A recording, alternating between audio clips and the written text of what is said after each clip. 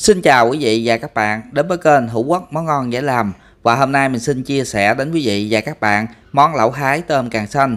Một món lẩu rất là ngon, cách làm thì cũng rất là đơn giản lắm luôn. Tôm càng xanh rất là ngọt ngon, ăn rất là bổ dưỡng lắm luôn. Rồi mình nấu lẩu hái thì nó có vị chua chua, rồi vị cay cay. Rồi mình kết hợp thêm một số à, gia vị và một số nguyên liệu khác nữa Tạo nên món lẩu hái. Tôm càng xanh rất là thơm, ngon, tuyệt vời và món này rất là được ưa chuộng trong à, các bữa ăn ở gia đình hay để nhâm nhi thì khỏi phải nói, rất là tuyệt vời lắm luôn. Các nguyên liệu của mình thì gồm có, hôm nay mình sử dụng 800g tôm càng xanh. Tôm càng xanh này thì à, mình mua ở các ghe cào đó quý vị. Về nó đã à, ngọt hết rồi. Và mình đã rửa qua muối lõn này nghe quý vị, để cho nó thật là sạch luôn. Các con tôm cũng rất là to lắm luôn thịt bò thì mình sử dụng 100g thịt bò. Mình cũng sắc ra sẵn rồi. Còn à, bò viên thì cũng khoảng à, 100g bò viên, nửa trái khóm các cây xả, ớt, lá chanh, nấm gom củ riềng cà chua, rồi rau húng quế, rồi các loại à, rau ăn kèm heo lẩu nè quý vị, gồm có bắp chuối, rồi tay tượng, rau muống, rồi rau nhút rồi rau cần rau cần nữa nha quý vị, rồi thêm một à, củ à, hành tây nữa trong các nguyên liệu mình nấu cùng một số gia vị thông thường nữa. Rồi tôm càng xanh thì à, hồi à, mình để nguyên như vậy luôn mình nấu nha quý vị. Các rau nè cũng không sao mình để như vậy mình nấu luôn. Mình chỉ gỡ các cọng hung mình cuột các cái càng là được rồi. Còn hành tím thì mình đè cho nó dập dập nha quý vị. Để nữa mình phi. Mình để nguyên củ hành tím như vậy luôn. Không cần phải à, sắc nhỏ ra nha quý vị. Rồi các cây xả. Thì mình đập cho nó dập dập. Rồi sau đó mình cũng cắt khúc khúc ra luôn. Cũng khoảng à, bốn 4 năm phân nha quý vị. Cái phần gần lá hơi già mình bỏ đi. Còn củ riềng thì mình sắc lát mỏng mỏng ra. Rồi sau đó thì mình cũng à, sắc cho nó nhỏ nhỏ ra nữa nha quý vị để nữa mình phi. Rồi các lá chanh nè quý vị. 1 2 3 4 5 lá chanh. Mình xếp lại rồi mình cũng à, sắc nhỏ nhỏ ra luôn để mình phi chung nha quý vị. Rồi hai trái ớt thì mình sắc lát nhỏ nhỏ ra. Nhà mình ăn cay nhiều thì mình sử dụng à, ớt nhiều hơn nha quý vị rồi mình cũng cho ra cái dĩa sẵn để hồi mình à, sẽ phi. Nguyên liệu phi của mình hôm nay cũng rất là nhiều nha quý vị. Và các trái ớt còn lại á, thì mình cũng sắc nhỏ nhỏ ra luôn. Để nữa mình sẽ cho vào trong à, cái phần nước chấm nha quý vị.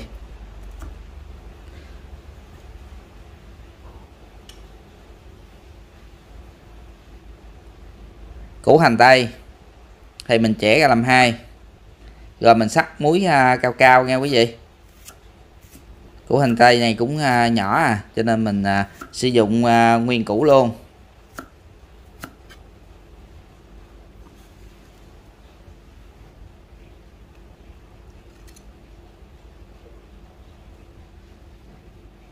Khóm thì mình bỏ đi cái phần à, cùi nha quý vị. Rồi mình sẽ chẻ làm hai. Rồi mình sắc à, nhỏ nhỏ ra. Món lẩu thái là phải có khóm nè cà chua nè và đặc biệt là riềng nè rồi lá chanh nè. Các nguyên liệu à, để nấu món à, lẩu thái quý vị có à, rất là nhiều nghe quý vị. Rồi các lá húng quế á, thì mình lặt cái phần đọt thôi một ít thôi. Để khi nào mà lẩu thái của mình chín thì mình sẽ cho vào nghe quý vị cho nó thơm hơn và ngon.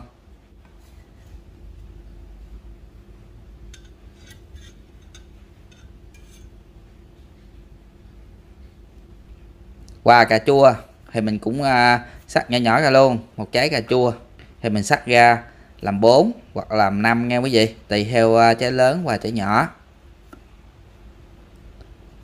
Đó, sau một hồi mình sắc à, ra xong ba trái cà chua. Rồi mình cho ra dĩa sẵn luôn.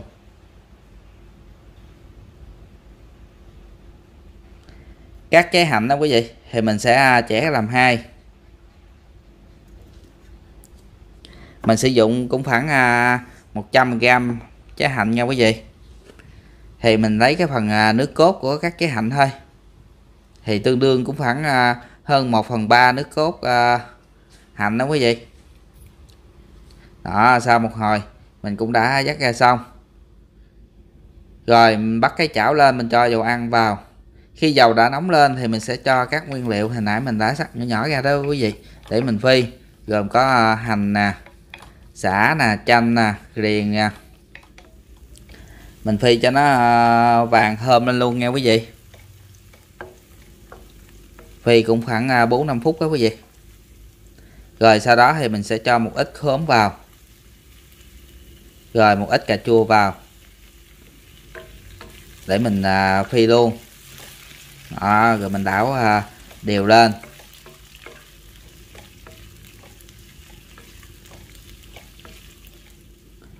Và bây giờ thì mình sẽ cho các nguyên liệu khác vào nữa. Đây là xả tế tôm nè quý vị. Mình nấu đậu thái cho nên mình nấu à, phải cay cay nha quý vị. Cho nên mình sẽ cho hết nguyên chai à, xả tế tôm vào luôn.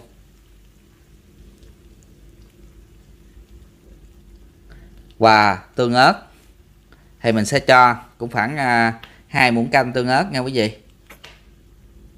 Tương ớt này nó không có cay lắm, nó chỉ có vị à, cay hơi nhẹ nhẹ thôi, nhưng mà nó rất là thơm nha quý vị. Và đây là tương cà, thì mình sẽ à, cho vào cũng khoảng à, một muỗng canh tương cà. Rồi sau đó mình đảo đều lên. Mình xào cho nó sạch sạch lại luôn nha quý vị. Đó sạch như vậy là cũng được rồi nè quý vị. Mình đảo qua một quận đã. Rồi mình sẽ cho nước dừa vào. Đó, mình nấu mà, nấu dừa tươi nó sẽ rất là ngon nha quý vị. Mình cho cái phần à, nước dừa tươi vào. Rồi mình sẽ à, thêm à, nước lọc vào nữa nha quý vị. Cái lượng nước mà mình nấu trong món lẩu hôm nay thì cũng khoảng gần một lít nước nha quý vị. Tùy theo gia đình mình ăn súp nhiều hay súp ít thì mình sẽ cho cái phần nước lẩu nhiều hay ít nha quý vị.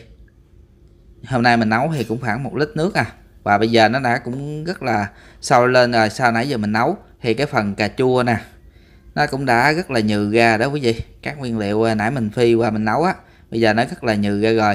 Thì mình sẽ à, vớt bỏ ra hết luôn nha quý vị. Mình sẽ à, vớt ra tô. Đó mình vớt bỏ ra hết luôn. Tại vì cái phần này nó nó rất là nhừ rồi ăn không có ngon. Chủ yếu là mình lấy cái phần nước à, lúc mà mình nấu cho nó ra thôi đó, mình vớt bỏ ra hết, cũng gần một tô đó quý vị. Rồi, mình sẽ cho gia vị vào, mình cho nửa muỗng cà phê muối, nửa muỗng cà phê bột ngọt phần nửa muỗng cà phê hạt niêm. Đường cát thì mình cho khoảng hai muỗng canh đường cát. Tại nước dừa nó cũng đã rất là ngọt rồi, cho nên à, đường thì mình cho ít lại nha quý vị. Nước mắm thì mình cho khoảng à, một muỗng canh nước mắm rồi, sau đó mình à, đảo đều lên để cho các gia vị nó tan hết trong cái chảo lẩu của mình luôn. Tùy theo gia đình mình mà mình à, nêm nếm sao cho hợp khẩu vị với à, nhà mình nha quý vị. Sau một hồi đã rất là sôi lên rồi thì mình sẽ cho nấm gom vào, rồi mình nấu. Cái nào lâu chín thì mình sẽ cho vào trước nha quý vị. Và cái phần bò viên nè quý vị, mình đã sắc nhỏ ra rồi đó thì mình sẽ cho vào luôn. Sau một hồi mình nấu cũng khoảng à, ba bốn phút rồi. Bây giờ mình cho khóm vào. Rồi tiếp tục mình nấu nha quý vị. Rồi mình sẽ cho cà chua vào luôn. Khóm mình cho vào mình nấu khoảng 2 phút thôi rồi mình cho cà chua vào.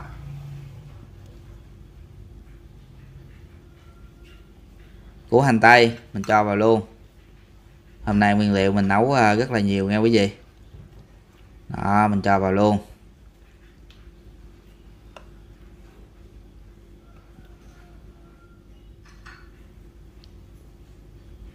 Và cuối cùng là tôm càng xanh. Thì mình cho vào trong chảo hết luôn. Mình cho nó à, ngập xuống cái phần à, nước lẩu nha quý vị, để cho tôm càng xanh của mình nó sẽ à, nhanh chín hơn. Đó và sau một hồi thì nó đã à, chín một bên rồi thì mình sẽ à, chở các con tôm càng xanh của mình lại nha quý vị để cho nó chín đều hai bên luôn. Đó chút, chút xíu thì mình sẽ à, nhắc xuống uh, bếp ga để uh, mình dùng nha quý vị. Ăn lẩu thì phải ăn nóng nó mới ngon. Và thịt bò quý vị thì mình cho phần nửa vào luôn. Còn phần nửa hồi mình sẽ uh, cho vào sau nha quý vị mình ăn tới đâu mình cho vào tới đó và cái phần nước cốt à, hành nó mới dây mình cho vào luôn. Rồi mình cũng à, đảo à, đều đều lên để cho phần à, nước cốt hành của mình nó sẽ à, đều hết trong cái phần à, chảo lẩu nha quý vị. Và bây giờ thì mình sẽ cho cái phần à, rau à, húng quế vào luôn. Các cái ớt xanh nè mình cho lên chủ yếu mình trang trí cho nó đẹp thôi rồi mình tắt lửa luôn nha quý vị. Món à, lẩu hái tôm càng xanh của mình cũng đã chín rồi đó quý vị. Đó, các à, lát ớt mình sắc hành nhỏ nhỏ ra đó quý vị. Mình cho nước mắm vào. Đó, món lẩu hái tôm càng xanh của mình sẽ chấm với à, nước mắm nha quý vị. Và bây giờ mình quay à, cận lên nè quý vị. Nguyên chảo lẩu à, hái tôm càng xanh. Một món à, lẩu rất là ngon và rất là dễ làm. Các con tôm càng xanh á thì à, tôm rất là ngọt ngon ăn rất là bổ dưỡng lắm luôn. Tại vì các con tôm này là tôm sông không nghe quý vị. Cho nên à, ngon bổ lắm. Và nó à, thịt nó rất là chắc. Rồi à, khi mà mình nấu lẩu thái thì nó có vị chua chua cay cay. Rồi à, khi ăn á, thì mình sẽ à, ăn kèm với bún nè. Rồi mình nhúng các loại à, rau vào. Rồi mình chấm với à, nước à, mắm trong nè. Đó nguyên cái à, phần rau thì cũng rất là hấp dẫn lắm luôn rau thì cũng tùy theo gia đình mình. Nha quý vị, mình ăn rau nào thì mình mua rau đó nhiều nhiều cho nó ngon. Rồi hủ quốc món ngon dễ làm. Xin cảm ơn quý vị và các bạn đã xem video. Xin chào và hẹn gặp lại quý vị và các bạn vào video lần sau.